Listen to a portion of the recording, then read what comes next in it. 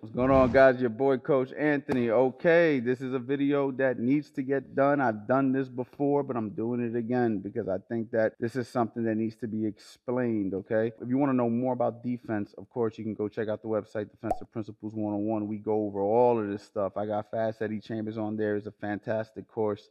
Make sure you go check it out if you don't already have it. But I got none other than Marshall Schreiber, my champ. All right, one of the guys that I've built from the very beginning and we're going to go ahead and face me real quick. And it's the slip, slip roll versus the slip roll roll, okay? So you may see in boxing, a lot of guys will do this slip, slip, roll, right?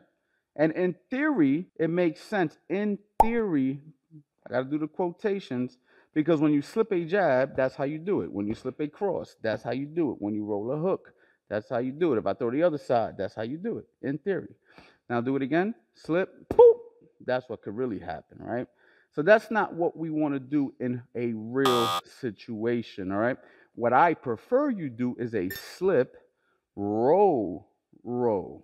Okay, now that's the right way to do it. Now, somebody may say, Well, Coach Anthony, I've seen you do slip, slip, roll before. So what the hell are you talking about? Or I've seen good coaches do slip, slip, roll before. So what the hell are you talking about? I personally like the slip, slip, roll to teach a person the rotation of the body. I talk about this and build you from the ground up that not everything that we do in boxing is tactic related. A lot of the things that we do are training tools. So right now I'm using this as a training tool to get him to learn how to shift this way, to get him to learn how to shift this way, to get him to learn how to shift this way.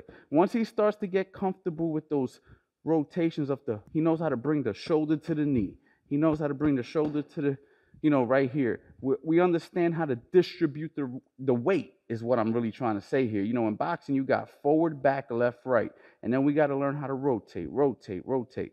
Very, very important that we learn how to rotate properly. So I use the slip, slip, roll more so as a training tool. But once we get into a situation where we're talking about real life boxing, right, he's going to slip, roll, roll, because you don't want to cross the center line. Now, what is the center line in boxing? The center line is exactly what it sounds like, straight down the line, right? You hear a lot of guys using that terminology, the center line, okay?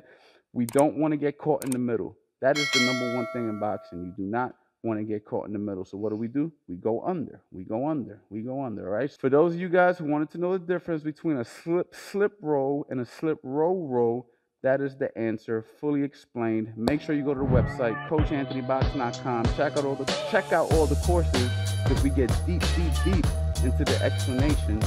And you already know. Bye.